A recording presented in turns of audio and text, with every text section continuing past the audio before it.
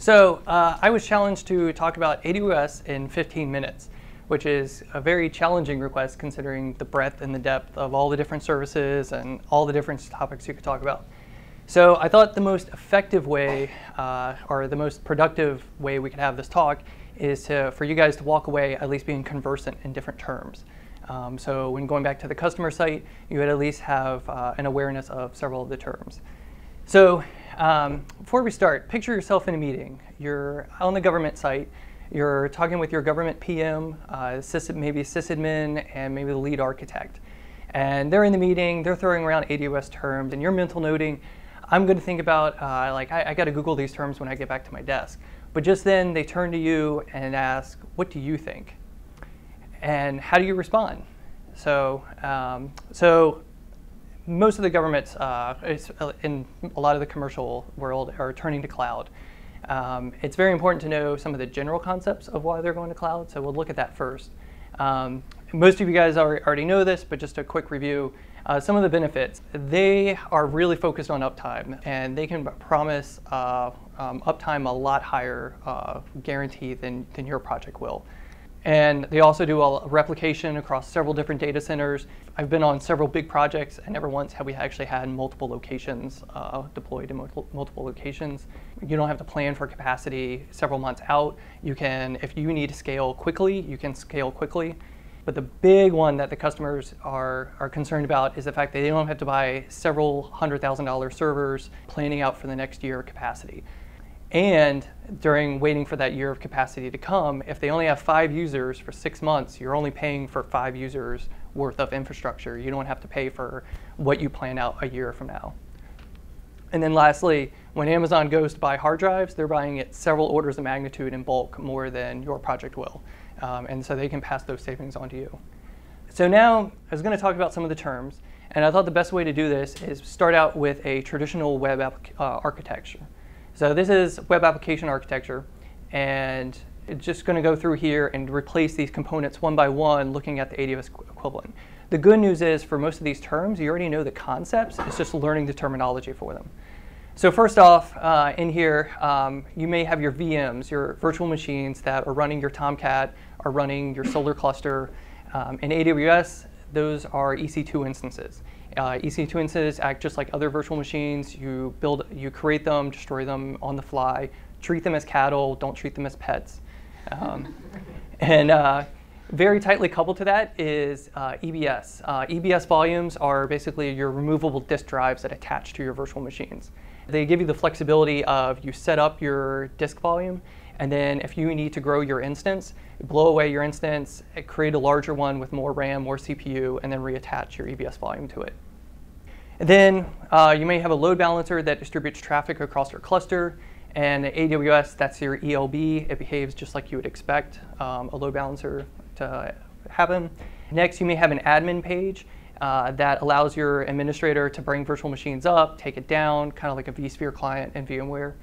And AWS, that's the AWS console. Next, you may have uh, a roles page that allows your administrators to manage different accesses and roles. And AWS, that's uh, your identity access management. And IAM also controls user policies and uh, services. Um, so you can set that some EC2 instances can have read-only access to certain buckets or certain things, and then EC, some EC2 instances can only write. So different services can actually have different permissions inside your cloud. Next, auditing, of course. And AWS, that's CloudTrail is the service they provide.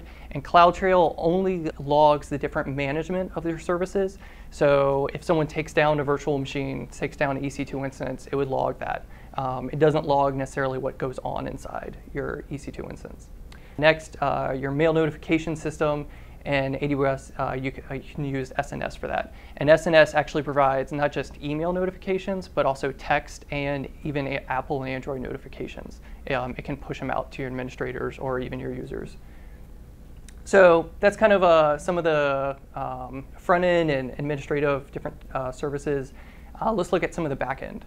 So again, you'd have your virtual machine cluster and you'd replace that with EC2 and EBS. You may have a queuing service like ActiveMQ that sends messages, allows you to share messages between your different servers, services. And AWS, that's SQS, very simple. And then you may have a um, in-memory cache database that maybe caches queries for your relational database so that you can just instantly return results. You don't have to go all the way down to the database. And AWS, that's uh, provided by Elasticache. And Elasticache, you can even choose which engine. You can either choose Redis or Memcached for the underlying engine. And then next for the database, they provide RDS. And RDS, uh, similarly, you can choose between six different underlying database engines. You can choose uh, between MySQL, MySQL, Microsoft SQL Server, Oracle, Postgres. Um, they give you several options. Um, next, um, your NoSQL database, Amazon provides DynamoDB.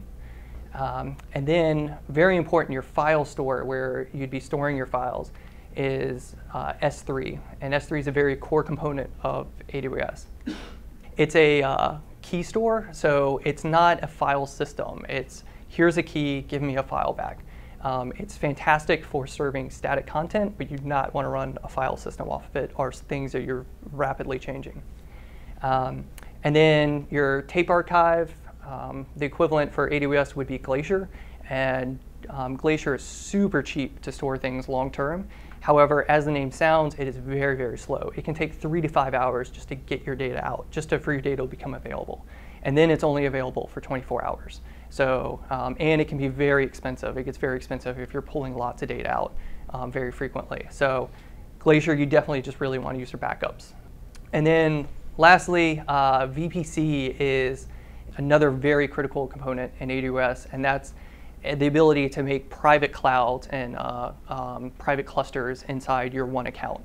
So you can have several different VPCs, and it's a way of logically distingu distinguishing between them. Um, so very often you'd have a production VPC, a development VPC, test and integration, um, and you can provide or associate different security policies to that as well. So I've talked about several different storage options up here. Um, so I thought it'd be good to kind of compare them um, because Amazon really does provide you with different ones for different scenarios. So here's a little chart showing cost to performance. And to start out with, we'd have your four different EBS volume types. Very straightforward. The more performance you're going to get, the more you're going to pay. Um, the slower it is, the cheaper it is. Um, the default is just your general SSD is uh, what they generally provide you with. Um, although most uh, services I've used, uh, just magnetic, and it's been fine. Next is S3, which is a little bit cheaper, a little bit slower. Uh, and Amazon also provides S3 reduced redundancy storage. And this offers the same performance as S3, but they're able to provide it to you a little bit cheaper by the fact that they don't do as much replication on it. Um, so um, it's fantastic for any kind of content that you're generating. So if you're generating thumbnails or you're doing uh, conversion, like converting Word documents to PDFs, keep the originals on S3 and then do the conversion transformation, save those on S3 RRS. Uh, next, Glacier, which is slowest and the cheapest. Um, and then very recently, uh, it just came out of preview, is Elastic File System. And EFS is basically your NFS uh, cluster and it uh, provides, it allows you to attach one storage option to several different EC2 instances um, to provide shared storage. But it is 10 times more expensive than normal EBS. And then lastly, uh, many EC2 instances actually come with free storage um, that's included in the EC2 price. Um, however, this instance storage, and, and, it's very performant. However, it, uh, it disappears when you terminate the instance. So it's not something you want to do any kind of uh, long-term storage on. Um, it's really just for temporary files. So, um, so speaking of terminating, when talking about creating instances, um, AMIs. AMIs are just images, disk images, that when you create an EC2 instance, you apply um, to the EBS volume to create it. Um, there, there are hundreds to choose from in the uh, AMI marketplace. Um, you can choose anything from bare bones Linux, CentOS, Red Hat, um, even Windows, to all the way to like a uh, pre-configured WordPress, full-fledged WordPress site um, that's just out of the box ready to go. Uh, and then another very, very cool concept is, uh, a very cool service is CloudFormation. And this allows you to actually script the creation of an entire cloud. And so if you get your VPC production up and ready to go, you can script the whole creation of it, and you can very quickly deploy to new regions or redeploy your uh, development environment based on what your production environment already is. Um, so I've mentioned a few different terms that start with cloud. Uh, so I thought we'd just compare those real quick. Um, you have CloudFormation, CloudTrail, and CloudWatch, which I haven't mentioned yet. Um, CloudFormation, very simple, it forms clouds.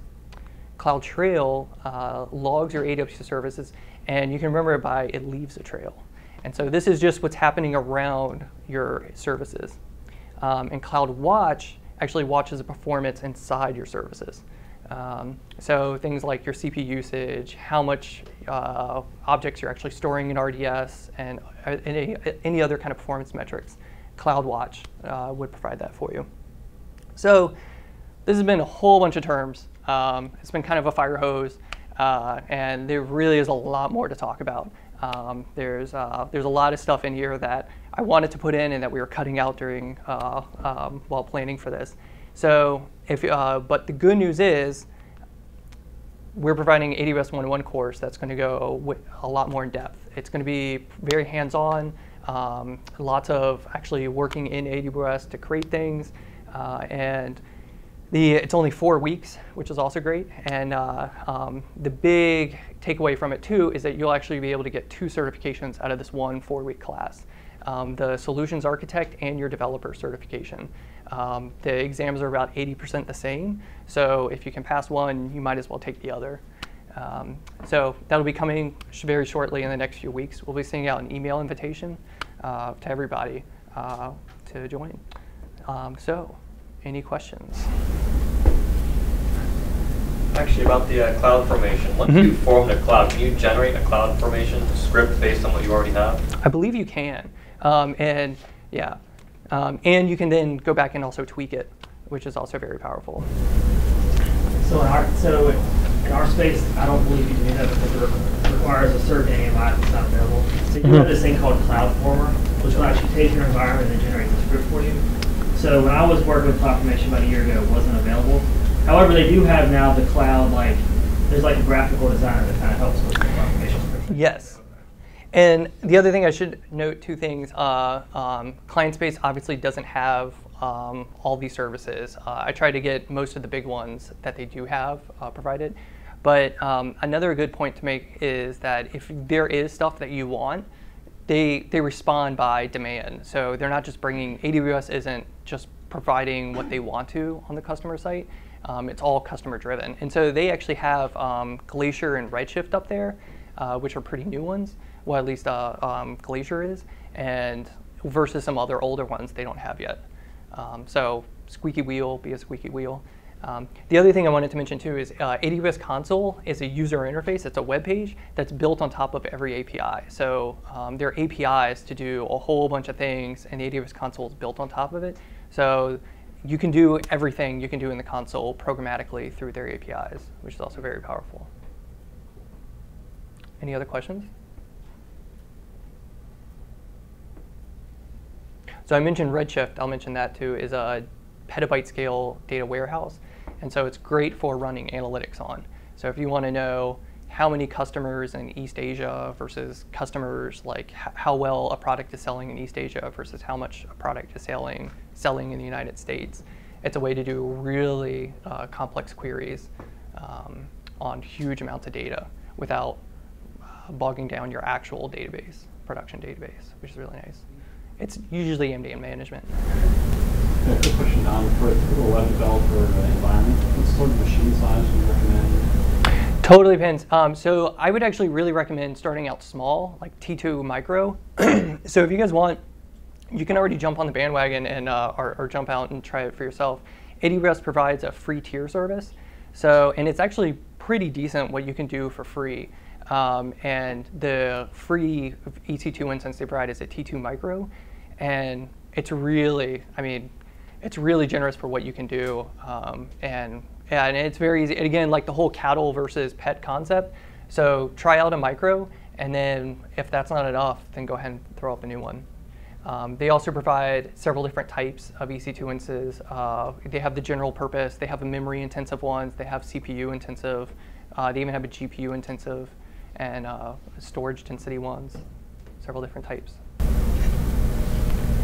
Uh, maybe you can answer this maybe more from Matt, but what would be recommended if we're going to run like FIDOS? Run FIDOS? Yeah, what instance? Yeah, I don't know. Yeah, um, So an M3 large was recommended. Uh, Has a little more network bandwidth and your screen scraping across the network, so um, that's, that's recommended. We've seen some people um, who want to move the processing closer to the data. Uh, They'll use a really large instance, and then, they'll- and then they'll just have that. Any other questions?